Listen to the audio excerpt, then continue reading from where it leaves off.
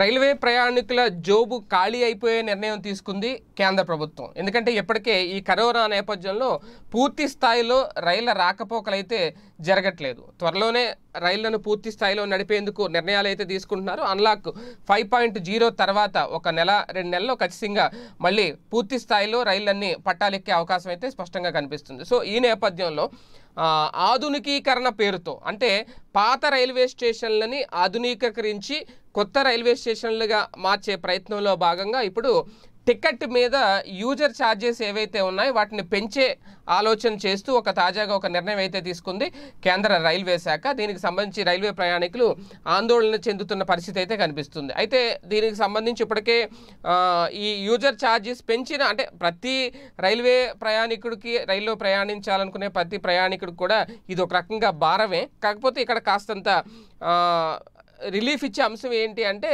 అన్ని స్టేషన్లో కాకుండా పాత స్టేషన్లను కొత్తగా మార్చిన రైల్వే స్టేషన్లు ఏవైతే ఉన్నాయో అక్కడ ట్రైన్ ఎక్కుతున్న వారికి మాత్రమే ఈ యూజర్ ఛార్జెస్ అదనంగా చెల్లించాల్సి ఉంటుంది.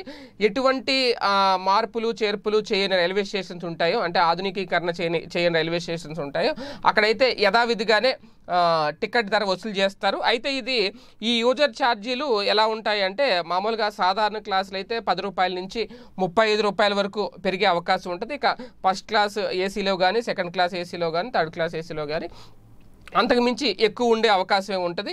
అంటే జనరల్ బోగీల్లో ప్రయాణించే వారికి మాత్రం చాలా తక్కువగా ఉంటాయి యూజర్ ఛార్జెస్ అనేది. అంటే ఇప్పటివరకు దాదాపు దేశంలో ఏడు వేల రైల్వే స్టేషన్లు ఉన్నాయి మొత్తం. కేవలం ఏడు వందల నుంచి వెయ్యి రైల్వే స్టేషన్లో మాత్రమే ఈ యూజర్ ఛార్జీలు వసూలు చేసే ప్రతిపాదన అయితే తెర మీద తీసుకొచ్చారు. అంటే మునుపెన్నడూ కూడా భారత్ రైలు ఇలాంటి ఛార్జీలని వసూలు చేయలేదంట. ఇదే ఫస్ట్ టైము. స్టేషన్లను ఆధునికీకరిస్తున్న సమయంలో ఆ, భారం ప్రయాణికుడి మీద వేయడం. మరి ఇంత ఇది ఎంతవరకు సమంజసం? ప్రయాణికులు దీన్ని యాక్సెప్ట్ చేస్తారా లేదా అనేది పూర్తి స్థాయిలో రైలు అందుబాటులోకి వచ్చిన తర్వాతే తేలాలి.